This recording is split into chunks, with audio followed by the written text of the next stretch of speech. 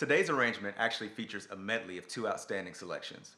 The first is Fire by the Rebirth Brass Band, and the second is Mi Gente by Hector Lavoe. This one was written to be served as accompaniment for a vocalist, so it's a little bit different from the other ones you might hear. But if you like what you hear, please like and share this video, and if you'd like to work with us in the future, please visit the website below. Thanks, and as always, be well.